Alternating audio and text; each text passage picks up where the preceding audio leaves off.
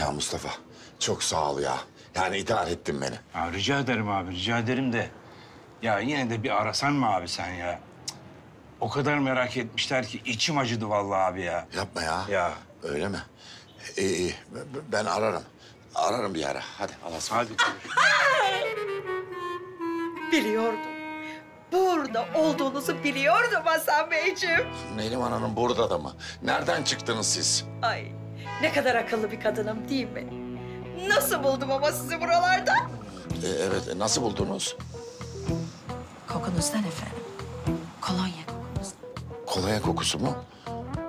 Neriman Hanım, benim yukarıdaki odada yarım şişe limon kolonyam var. Onu da ara sıra sürüyorum. Siz aklınızı mı kaçırdınız? Benden dalga mı geçiyorsunuz siz? Kokudan bu. Neyse neyse. Ee, Neriman Hanım, e, lütfen benim burada olduğumu kimse duymasın. Aşk olsun Hasan Bey. Sırrınız benimle güvende efendim. Ama ben anladım sizi.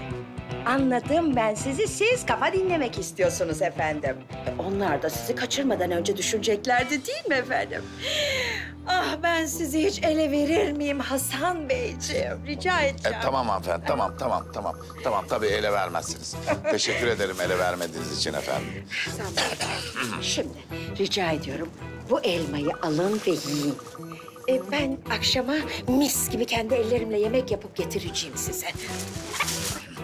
Neriman Hanım, e, lütfen e, bu elmayı alır mısınız? Hayır efendim. Afiyet olsun, bal olsun, vitamin olsun, can olsun Hasan Beyciğim. Ee, ben şimdilik gidiyorum. Akşama görüşürüz. İyi günler efendim. İyi günler efendim. İyi günler Hasan Beyciğim. İyi günler.